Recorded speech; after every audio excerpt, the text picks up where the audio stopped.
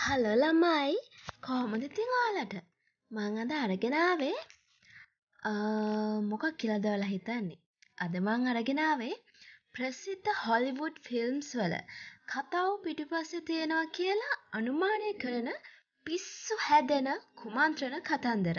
එහෙමත් නැත්තම් මේවා අපිට කියන්න පුළුවන් පුළුවන් ෆෑන් බේස් තියරිස් කියලා. දැන් ඔය ෆිල්ම්ස් බලන්න අකමැති කෙනෙක් ඉන්නවා නම් ඒ ඉතින් හුඟක්ම කලාතුරකින්නේ. හරි.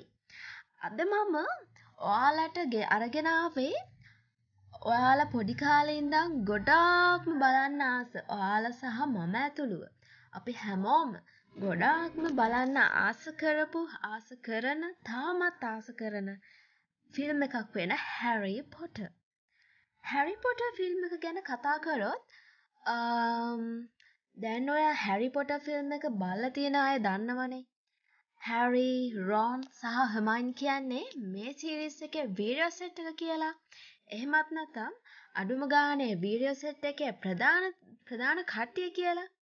එතකොට අපි හැමෝම හිතන්නේ හැරි පොට ගොඩාක් හොඳ ඩෑල් එක එහෙම නේද?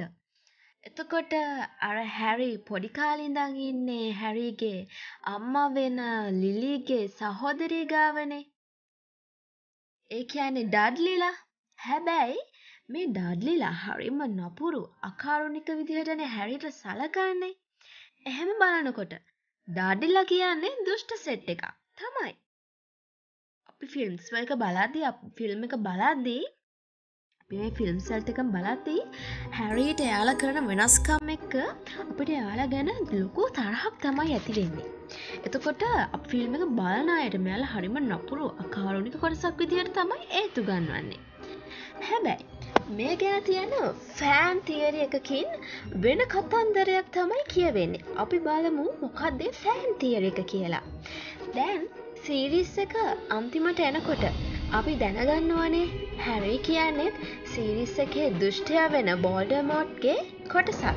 එහෙමත් නැත්තම් හෝක්‍රස් එකක් කියලා. එතකොට ඔය හෝක්‍රස් තියෙන තැන කචල් එමගේම ගොඩක් ප්‍රශ්න තියෙනවා කියන එකත් අපි දන්නවනේ.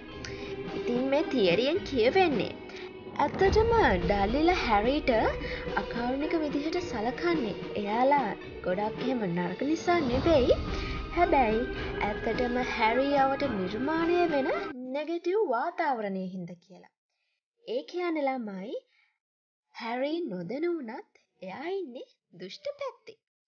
ඔන්න මේ හැරි පොට ෆිල්ම් ගැන තියෙන එක ෆෑන් බෙස් තියර එක.